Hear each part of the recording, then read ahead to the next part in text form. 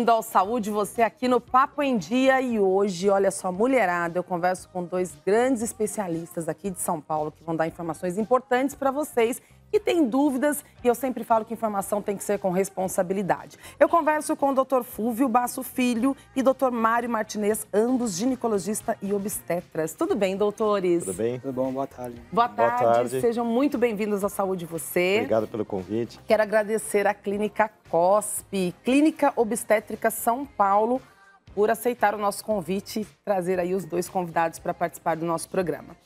Doutores, as mulheres me escrevem muito nas redes sociais, no Instagram, muitas mulheres perguntando sobre mioma. E aí vem as tecnologias das cirurgias, como videolaparoscopia. Então eu tenho várias perguntas para fazer.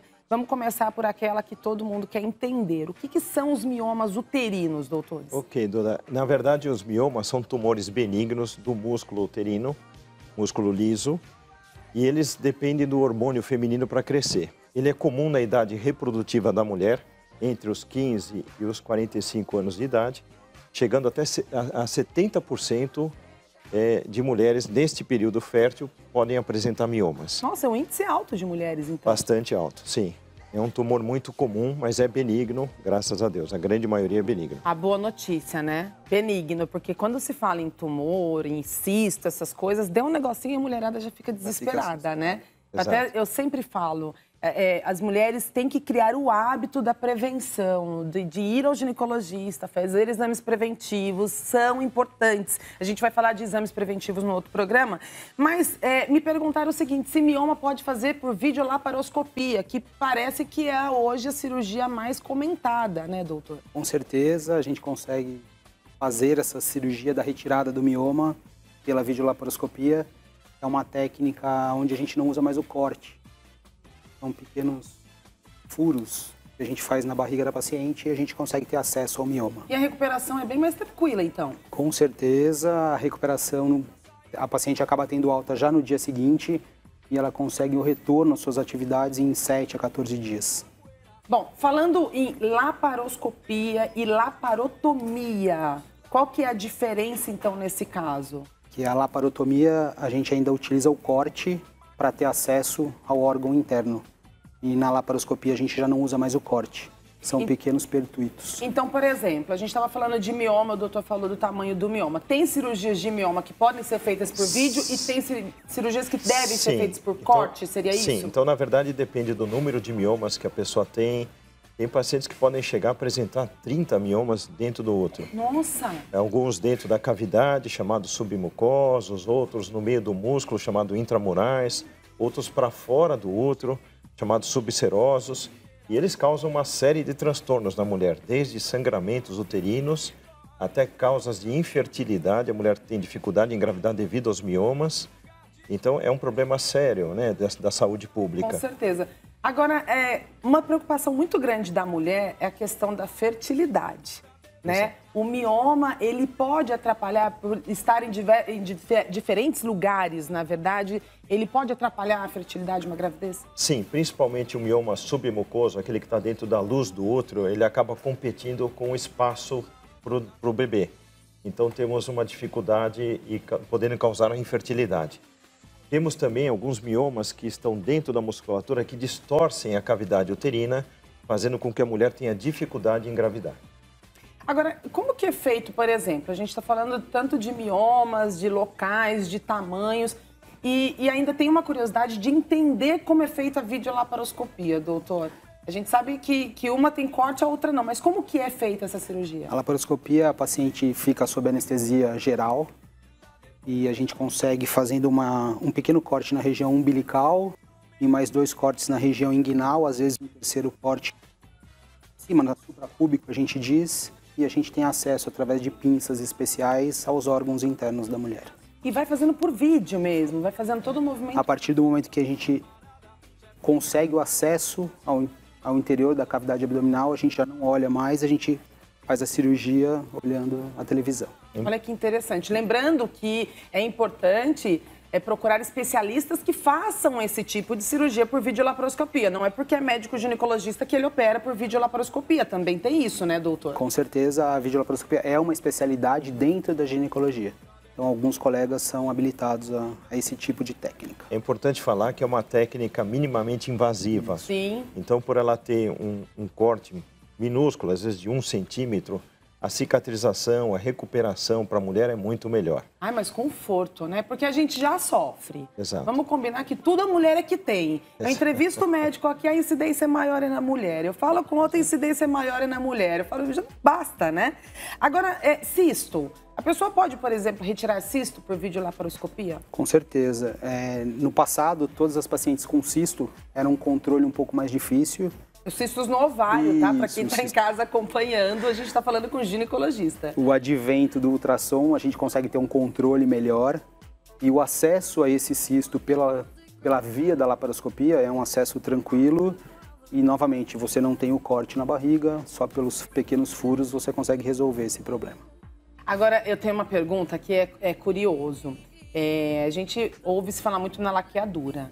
As mulheres procuram fazer laqueadura por videolaparoscopia, por exemplo? Porque eu acho que agora ninguém mais quer cortar, né, Sim. doutor? Isso também é, é uma outra técnica para quando a paciente tem o interesse em não ter mais filhos, não tem mais o desejo de uma nova gestação e impossibilidade de usar hormônio ou não quer mais usar hormônio, não quer usar o DIU, a laqueadura a gente consegue abordar as trompas uterinas e fazer a ligadura delas. Então a laqueadura é um excelente caminho. Olha só que interessante. Então, nós mulheres aí com mais opções na medicina, mais tecnologia. Então, é importante procurar um especialista. Por isso que eu falo, gente, não vá em rede social, não vá em site de pesquisa. É, tenha referências. Se você quer saber informações de saúde, consulta é presencial, é ali no consultório, é diagnóstico, tem que fazer exame. Então a gente está falando de, de, uma série de informações que são importantes para que você possa fazer, inclusive, prevenção, tá? Porque a mulherada, olha, não está cuidando muito de prevenção, é viu? É verdade. Eu tenho conversado com as mulheres, eu tenho visto que não está tendo um acompanhamento. Agora, me falaram que mioma, ele cresce, mas as pessoas querem saber o que, que faz crescer o mioma. Então, doutor. na verdade, o, o, o, mioma não se sabe o porquê ele aparece. Ainda é um enigma o porquê que ele aparece, é um tumor benigno mas ele depende exclusivamente do hormônio feminino para crescer. Então, ele é estrógeno dependente. Tanto é que um dos tratamentos de mioma é medicamentoso, tentando bloquear é, o ciclo da mulher, tentando diminuir o mioma. Temos outras possibilidades além da videolaparoscopia, que o Dr. Fulvio citou. Temos também a, a embolização de miomas, que é você tentar é, tirar a circulação que nutre o mioma. Com isso, Nossa. ele diminuiria de, de, de tamanho e, consequentemente, facilitaria a cirurgia do mioma. Então, o mioma, ele realmente, por ser é, hormônio dependente, é que ele é mais comum na idade reprodutiva da mulher. Nossa, quanta informação. Agora, é... o senhor falou diversas vezes, mas vou fazer a pergunta porque é importante ressaltar para quem está em casa que a gente fala em tumor, fala em cisto, fica com medo. Mioma pode virar câncer? Então, 1% dos casos, volto a frisar, é bem baixa a estatística, menos de 1%, podemos ter uma transformação em sarcoma do útero, que aí sim é um tumor maligno. Mas não chega a 1%. 99% dos miomas são tumores benignos. Bom, então, mais uma vez eu reforço aí a importância de fazer exames. Agora, falando em exame, para que serve o exame de videolaparoscopia? Que nome comprido, né? Mas é um nome fácil. É, a laparoscopia ela pode ser vista como uma cirurgia, quando você já sabe a patologia e vai direto para resolver o problema e ela também pode ser encarada como um exame diagnóstico.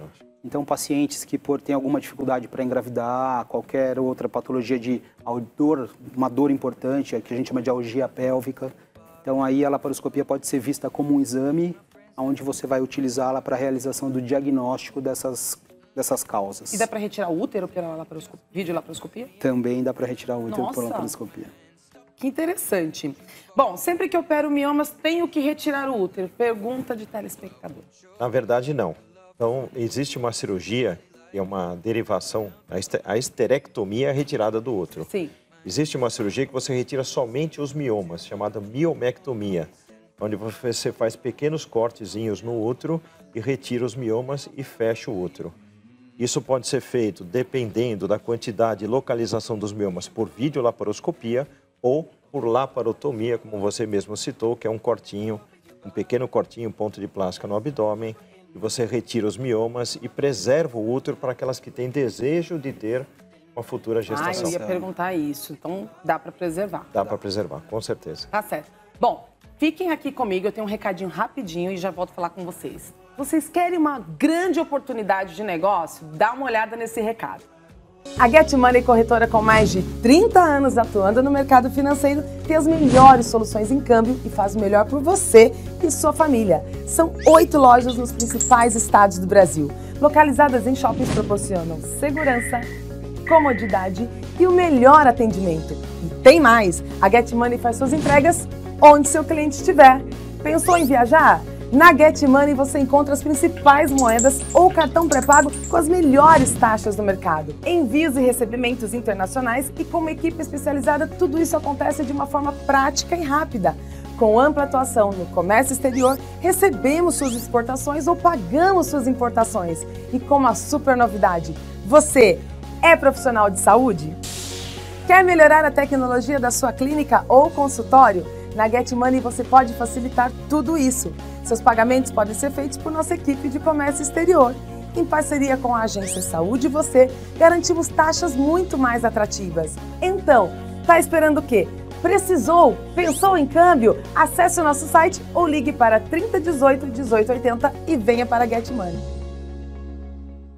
É isso aí. Quem não gosta de viajar e de fazer uma ótima oportunidade de negócio? Então, olha só, ligando agora, 30 18 18 80, você ganha o IOF. Quer oportunidade melhor que essa? Liga lá na Get Money. Doutores, vamos lá. A gente estava falando sobre preservar a, a mulher que quer, né, é, que pensa em ter filhos. Acontece casos, aí é uma dúvida realmente que eu tenho e acredito que quem está em casa acompanhando, de não conseguir preservar?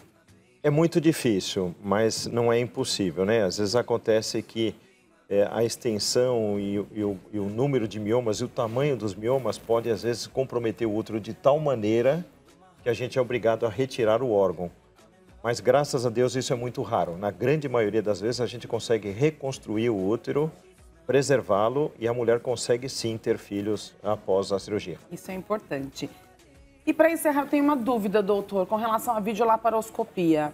É, a gente falou da laparotomia e da laparoscopia. Tem que ter, então, uma indicação, né? E isso é importante ressaltar. Aí o paciente vai no consultório, faz exames e aí é o médico que determina. Porque às vezes o paciente, ah, eu quero fazer isso, eu quero fazer aquilo, e não é possível em muitos casos. Então tem que ter essa indicação para alguns procedimentos? Sim, com certeza. Na laparoscopia, temos alguns com algumas contraindicações mas hoje vista como uma via de acesso do futuro, no sentido de a gente conseguir trazer de volta as suas atividades. Então, são pouquíssimos os casos onde não conseguimos. Então, um útero muito grande, um número de miomas muito grande, uma imagem sugestiva de algo não tão bom. Então, são as coisas que a gente começa a repensar de talvez não indicar a laparoscopia. Tá certo. Doutores, muito obrigada pela participação de vocês. Sejam sempre bem-vindos ao Saúde Você. Se você quiser conhecer o Dr. Fúvio, quiser bater um papo com ele, com o Dr. Mário, tirar as dúvidas de vocês, acesse o nosso portal programasaudevocê.com.br. Clica lá, você vai direto para o contato com os médicos e tire todas as suas, dúvidas, as suas dúvidas com especialistas. Mas não se esqueça, agende sua consulta com especialista para que você possa fazer exames preventivos. Porque as pessoas normalmente ficam muito ligadas àquelas épocas que falam-se em câncer de mama, em câncer disso ou daquilo, mas não é só nesses meses que faz menção às doenças que a gente deve se cuidar. Prevenção deve ser feita durante todos os dias do ano. Então, que tal começar a sua agora? E a gente continua com o Papo em Dia.